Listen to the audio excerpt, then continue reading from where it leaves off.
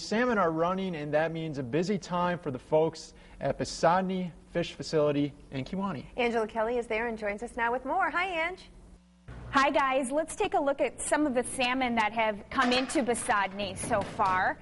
I'd like to introduce you to uh, Mike Baumgartner. He is the manager here. Mike, for people who don't know how this works, what is the salmon run? Uh, the salmon run is a fall uh, ritual basically here on the Great Lakes since about the mid 60s. Um, the salmon that we have in the Great Lakes are not native here, but uh, when we stock the fish, um, we, they imprint to the streams that we stock them in and they basically come back home to spawn to the streams that they were stocked in. Okay, so what happens here? Uh, here, uh, because we have no nat- natural reproduction here um, in our streams in Wisconsin for these fish, uh, we have to take the eggs manually and raise them in our hatchery operations. So um, basically, what we do here is collect the adult trout and salmon that come back here, collect the eggs from them, and then the eggs uh, are raised in a hatchery, hatched in a hatchery, and then raised. The fish are raised in a hatchery and then stocked back into Lake Michigan. How is the run doing this year compared to in years past?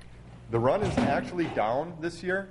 Um, we're not sure why. Uh, it may have, it may be just a, a life stage, um, kind of almost not a collapse, but a life stage uh, part where they uh, took a lot of um, mortality when they were when they were small.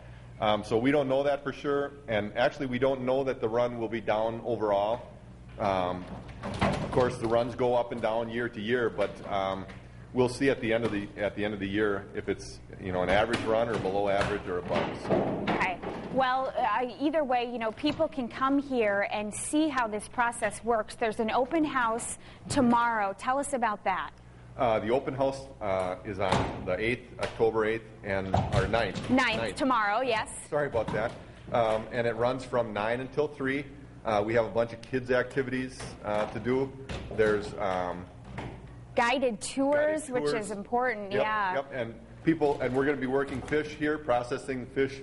Uh, we'll be spawning some of the fish so people can see what we do um, here and as far as spawning the fish. So. Yeah, so you can see that here on Saturday, but you can also see some of it this morning. We'll be here all morning. We'll toss it back to you.